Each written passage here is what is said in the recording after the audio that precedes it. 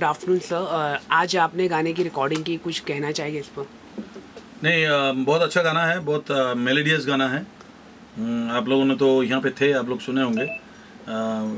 Birju Paul जी का music है। मैं बिरजू ने डायरेक्शन भी कर रहा हूँ अच्छा इस फ़िल्म का डायरेक्शन भी कर रहा है। पिक्चर का नाम है राजा राजा इलाहाबादी।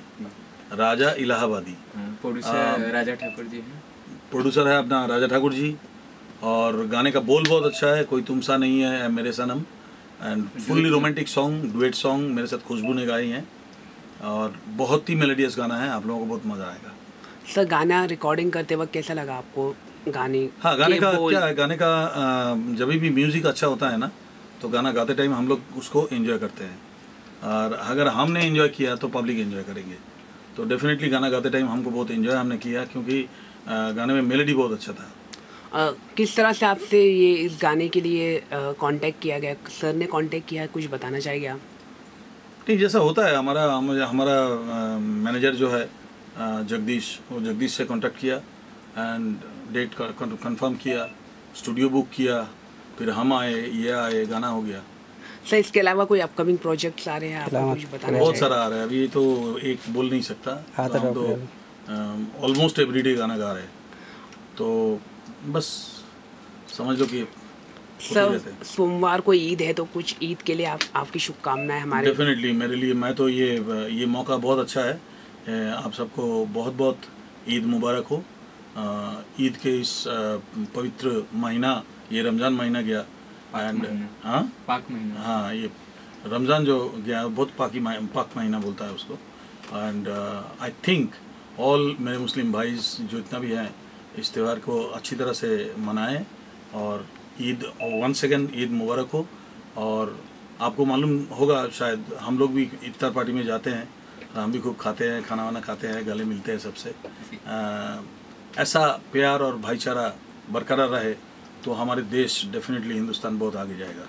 तो मैं चाहूँगा कि हर त्यौहार की तरह, ईद भी हर हर त्यौहार की तरह ईद भी हमारे देश में एक बहुत बड़ा त्यौहार है। एंड इनको बड़, बहुत बड़े पैमाने पे मनाना चाहिए। और जैसे हमारी दिवाली होता है और बाकी दुर्गा पूजा वगैरह सब होता है, ऐसा ईद भी हम सोचते हैं कि हमारा ही एक त्य- त्यौहार है। तो इसलिए मैं चाहूँगा कि सबको हमारे जैसा ईद मुबारक, मेरे जैसा, मेरे दिल से आप सबको ईद मुबारक।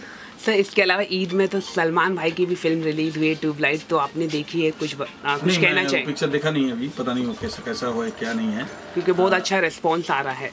I don't know actually Eid के लिए डेफिनेटली पिक्चर अच्छा होना चाहिए। सलमान भाई हमेशा अच्छा मूवी बनाते हैं एंड वो एक अच्छा एक्टर है अच्छा इंसान है सबसे बड़ी बात है। तो उनका मूवी चलेगा ये तो डाउट का कोई सवाल सवाल ही नहीं होता है। उनका मूवी चलता हमेशा है और चलता ही रहेगा। Thank you so much thank you very much